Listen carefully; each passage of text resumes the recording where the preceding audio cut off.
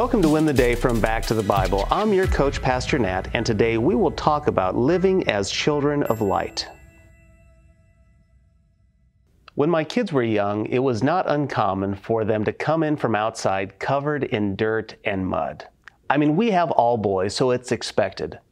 But what drove us crazy as parents were when we cleaned them up and change their clothes. And what would they do? They would go out and do it again, get covered in dirt and mud.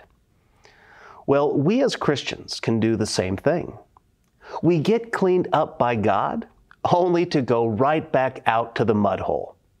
But should we keep doing this? Paul has the answer for us in 1 Thessalonians chapter 5 beginning in verse 4. But you are not in darkness, brothers, for that day to surprise you like a thief. For you are all children of light, children of the day.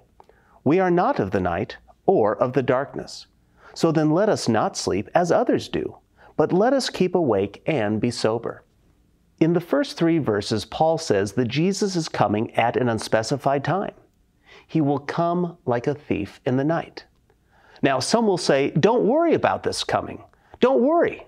But those who are, are not God's children.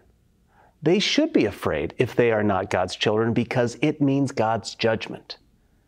And that's when Paul says in verses 4 through 5 But you are not in darkness, brothers, for that day to surprise you like a thief.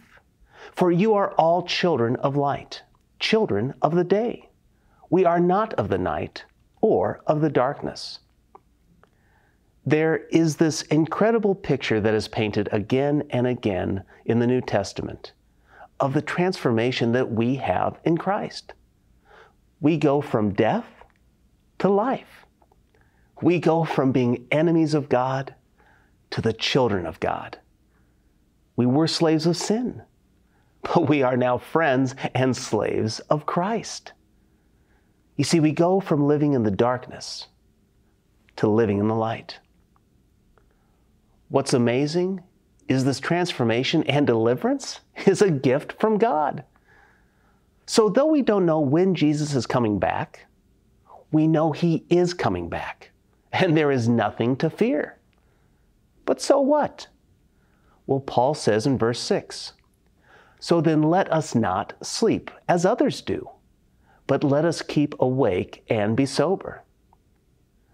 When Jesus returns, he will raise the dead, deliver justice, and deal with Satan, evil, and sin. For those who reject Jesus' offer of salvation, will experience separation from God forever in hell. It's a terrifying prospect. But for the believer, there is no fear in Jesus' coming. It's paradise, reward, and reunion forever. Therefore, let us live as children of light. Let us live out the reality of our salvation. Let us show the world we are no longer of the darkness or slaves of sin. We are saved by God for God, so let's live like it today. If Christians lived like Christians, the world would take notice.